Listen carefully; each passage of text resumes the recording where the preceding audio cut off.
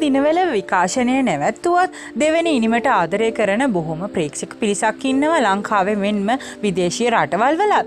ඉතින් දෙවැනි ඉනිමේ ආදරණීය චරිතයක් තමයි දිගංචියා. එහෙමත් නැත්තම් මලින්ත කියන්නේ.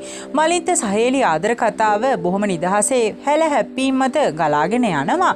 කෙසේ හෝ මලින්ත නිරූපණ ශිල්පිනියක් සමඟ සුන්දර මංගල ඡායාරූප පෙළක් අරගෙන තියෙනවා. මේ මලින්ත නාමල් බාලචන්ද්‍රයක එකතු වෙලා කරපු එම සුන්දර මංගල ෂූට් টেকায়।